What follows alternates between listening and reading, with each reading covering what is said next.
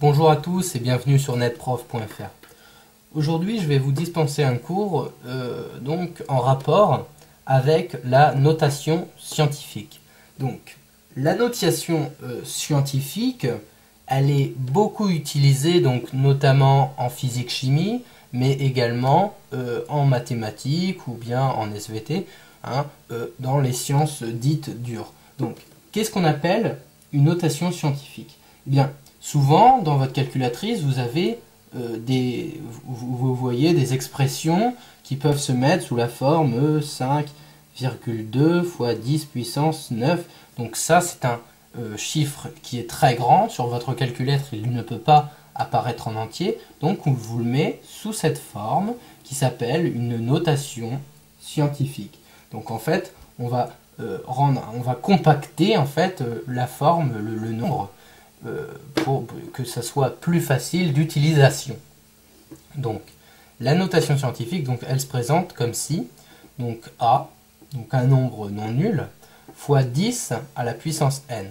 Sachant que n est un entier relatif, A étant compris entre 1 euh, strictement inférieur ou égal à 1 et strictement, strictement inférieur à 10, attention.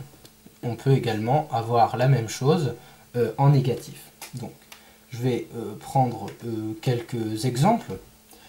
Admettons qu'on ait un chiffre, je ne sais pas, un nombre, par exemple 0,0,00721.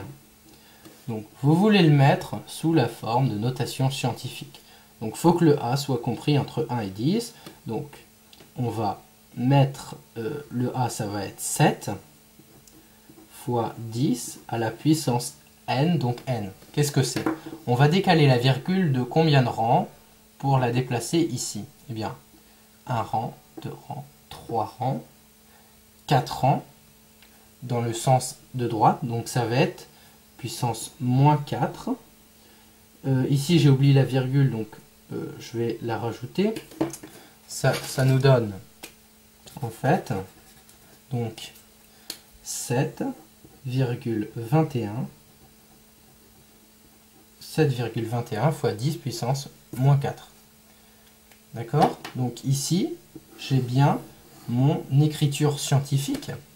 Donc ça, c'est égal à 0,000721. On est d'accord. J'ai bien mon A qui est compris entre 1 et 10. Et euh, moins 4, c'est bien un entier relatif. On peut prendre un autre exemple admettons que j'ai, euh, je ne sais pas, on va dire 370. Euh, euh, Donc je veux le mettre sous la notation scientifique.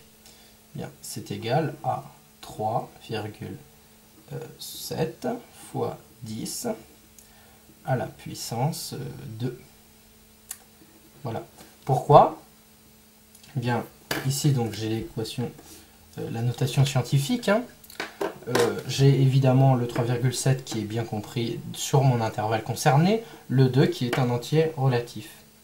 Donc voilà, hein. vous avez compris que euh, l'écriture, la notation scientifique, elle est très utile et elle facilite également grandement les calculs.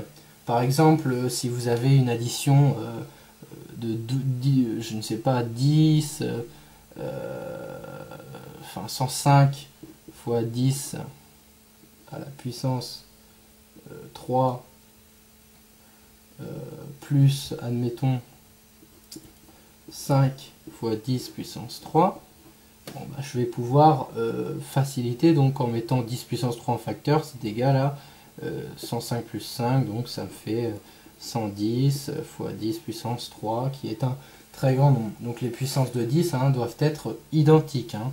J'ai une puissance de 10 ici, ici, donc elles sont identiques, hein. je peux additionner. C'est pareil pour la multiplication, c'est pareil euh, pour euh, la multiplication et pour la division. On va soustraire les exposants ou les additionner.